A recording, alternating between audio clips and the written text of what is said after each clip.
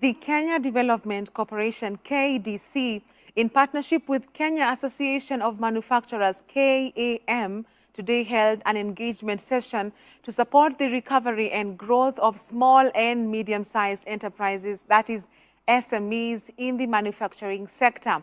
During the engagement, the third of its kind by KDC in the country, KDC announced that it has launched a plan to engage SMEs countrywide to sensitize them on KDC's products and services with a view to understanding their financial needs. The initiative was previously launched in partnership with the Kenya National Chamber of Commerce and Industry, KNCCI, in Mombasa and Kisumu counties.